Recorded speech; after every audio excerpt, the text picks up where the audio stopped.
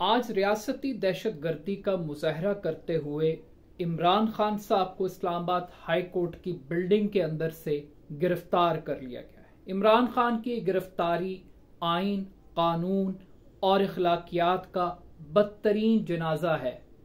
खान साहब की गिरफ्तारी की टाइमिंग सबसे इंपॉर्टेंट है। एक दिन पहले डीजीआईएसपीआर की जानब से एक वार्निंग जारी की गई।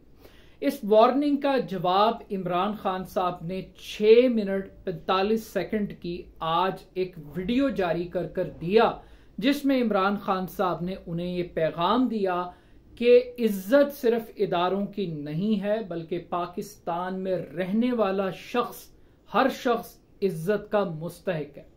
इमरान खान साहब की इस वीडियो के आखिरी अल्फाज बहुत इंपॉर्टेंट थे। खान साहब ने यह कहा कि उनकी गिरफ्तारी पर हो सकता है शायद कौम इतनी बड़ी तादाद में ना निकले।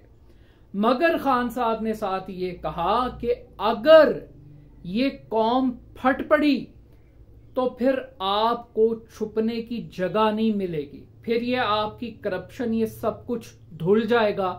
तो डरे उस वक्त से। और इमरान खान साहब ये बार बार बात कहते रहे कि आज गिरफ्तारी के लिए कोई ड्रामा मत करना। पुलिस, रेंजर्स और एफसी की इतनी बड़ी फौज लाने की ज़रूरत नहीं है। अगर आपके पास वारंट है तो आप वो वारंट मुझे, मेरे वकला को दिखाइएगा। मैं खुद आपके साथ चल पड़ूँगा तो प्लीज़ ड्रामा मत कीजिएगा।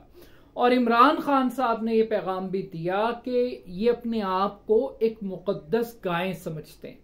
तो आज का ऑपरेशन रेंजर्स ने कंडक्ट किया है, जिससे इस बात का मुँह बोलता सबूत यह है कि मिलिट्री स्टैब्लिशमेंट की ईमा के ऊपर यह गिरफ्तारी की गई है।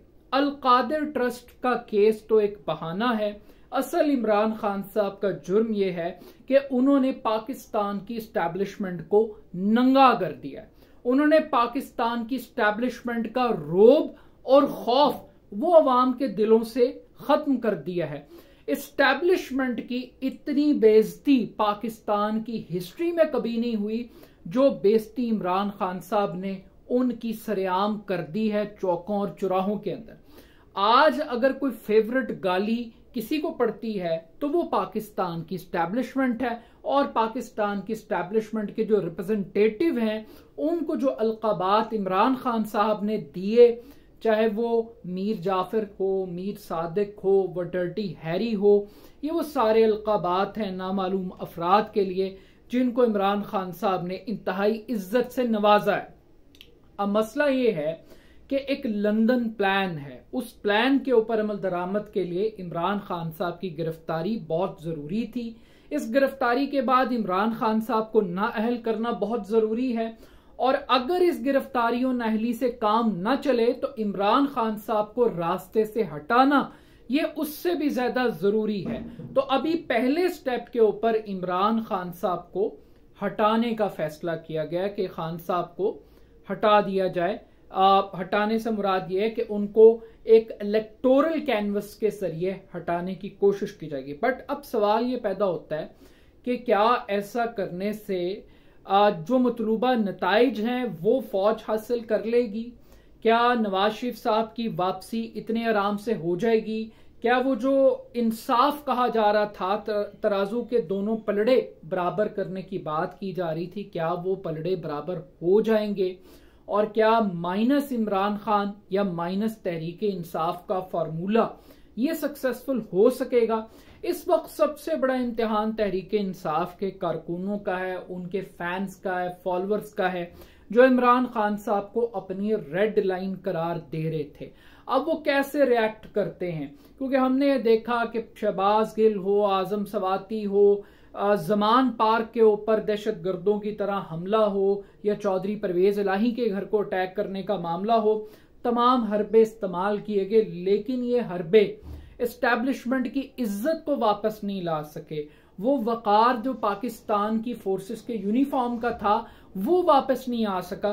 तो इस गिरफ्तारी की एक कीमत है। क्या ये कीमत मौजूदा एस्टेब्लिशमेंट अफोर्ड कर लेगी? क्योंकि शबाज शरीफ की कोई औकात नहीं है। नवाज़ शरीफ की, मरियम की धमकियों की कोई औकात नहीं है। औकात इस वक्त एक ही फैक्टर की है कि क्या पाकिस्तान की स्टैब्लिशमेंट उस ब्लो बैक को अफोर्ड कर लेगी जब फौज की ऑफिसर्स की बेगमात वो इमरान खान साहब के लिए गिरफ्तारियाँ देंगी और फौज के लिए एब्यूसिव लैंग्वेज इस्तेमाल करेंगी। तो ये जो ब्लो बैक है, इसके ऊपर अब एक इम्पैक्ट है। अब ये देखना है कि कराची से लेके खैबर तक कितनी बड़ी तादाद में लोग निकलते हैं, मामूलात ज़िंदगी रियासत कैसे चलाती है। सुप्रीम कोर्ट ऑफ़ पाकिस्तान का भी इम्तिहान है और सबसे बढ़ के इस्लामाबाद हाई कोर्ट का इम्तिहान है कि जिस भोंडे तरीके से ये वारदात डाली गई है, क्या वो तरीका आइन और कानून के मुताबिक था? क्या इमरान खान साहब को एक फेयर प्ले मिलेगा? ये एक बहुत बड़ा क्वेश्चन मार्क है और उससे बढ़कर क्योंकि इमरान खान साहब बारह मरतबा ये कह चुके हैं कि अगर उनको कुछ हुआ तो ये लोग जिम्मेदार होंगे। खान साहब एक वीडियो पैगाम भी रिकॉर्ड करवा चुके हैं। अब जो पहला इंडिकेटर है इमरान खान साहब की गिरफ्तारी के खौफ का, वो ये है कि खुद चेयरमैन नैब ये वारंट जारी करके उम्रे पर भाग गए। वो मुल्क से ही भाग गए हैं कि कहीं ऐसा ना हो कि कोई मॉब, कोई ऐसी कुत वो उनको अपनी लपेट में ना ले ले। तो अब ये तरीके इंसाफ की कारकुनों का बड़ा एक इम्तहान है कि उन्हें इलेक्शंस भी करवाने हैं, उन्हें इमरान खान साहब को भी बाहर निकलवाना है, उन्हें पॉलिटिकल बैटल पर भी मुकाबला करना है, उन्हें एक लीगल कैंपेन भी चलानी है। और दूसरा इम्तहान उस का है कि उसने ये सबसे बड़ा कार्ड अब खेल दिया है। इस कार्ड के बाद क्या वो अपनी ताकत को बहाल कर लेंगे, अपनी उस बेजती को इज़्ज़त में तब्दील कर लेंगे, अपनी उस डूबती हुई कश्ती को वो दोबारा प्रोटेक्ट कर लेंगे। तो ये दूसरे एंड के ऊपर है। लेकिन एक इंटरनेशनल स्टैब्लिशमेंट भी है, जिसे इमरान खान साहब ने इंगेज किया है। और इंटरनेशनल मीडिया है, वो भी देख रहा है, एक ऐसा मुल्क जो डिफ़ॉल्ट की तरफ़ है, जिसका आईएमएफ के साथ एग्रीमेंट नहीं हो रहा, जहाँ पर जो डेमोक्रेटिक राइट्स हैं, वो लोगों के वायलेट किए जा रहे हैं। सोशल मीडिया के ऊपर एक क्रैक डाउन का सिलसिला है, वो तमाम सहाफ़ी, जो इमरान खान साहब की हिमायत करते हैं, किसी भी शक्ल के अंदर, उनके ऊपर एक क्रैकडाउन है। तो ऐसी सूरत हाल के अंदर क्या इंटरनेशनल कम्युनिटी का प्रेशर हाफिज साहब की स्टैब्लिशमेंट बर्दाश्त कर लेगी। ये एक बहुत बड़ा क्वेश्चन मार्क होगा। बट स्टिल जिस कॉन्फिडेंस के साथ आज ये गिरफ्तारी की गई है क्या ये कॉन्फिडेंस बरकरार रहेगा?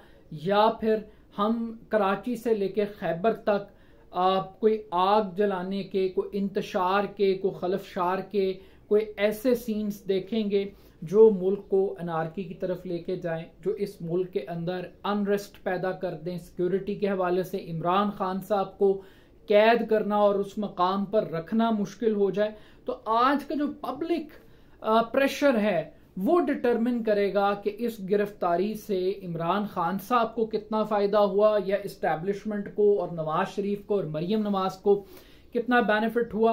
और लग ही रहा है कि फौज और इमरान खान आपस में लड़ेंगे। सुप्रीम कोर्ट और पार्लियामेंट की लड़ाई होगी, हुकूमत सुप्रीम कोर्ट को संभालेगी और फौज जो है वो बुनियादी तौर पे इमरान खान साहब को हैंडल करेगी। बट स्टिल, जब आप ये कहते हैं कि स्टैब्लिशमेंट न्यूट्रल है तो ये स्टैब्लिशमेंट की न्यूट्रलिटी के ऊपर आज एक बहुत बड़ा हमला और अटैक, और ये होना ही था। चूहे बिल्ली का खेल बड़े अरसे से चल रहा था।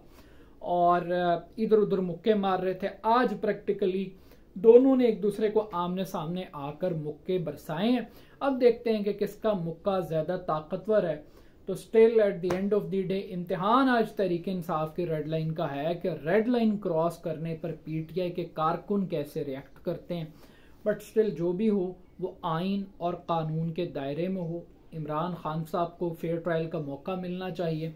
और उनकी सिक्योरिटी रियासत की रिस्पॉन्सिबिलिटी है, लेकिन दूसरी तरफ़ जो तहरीक इंसाफ के कारकुन हैं, वो कोई भी अमल करते हुए आइन और कानून को ज़रूर मलहूज खातर रखें। अगरचे रियासत ने दहशत गर्दी का मुजाहरा ज़रूर किया, लेकिन ये ज़िम्मेदारी अब तहरीक इंसाफ के कारकुनों पर है कि वो अपनी मूवमेंट को और अपनी कैंपेन को कैसे लीड करते हैं। शुक्रिया।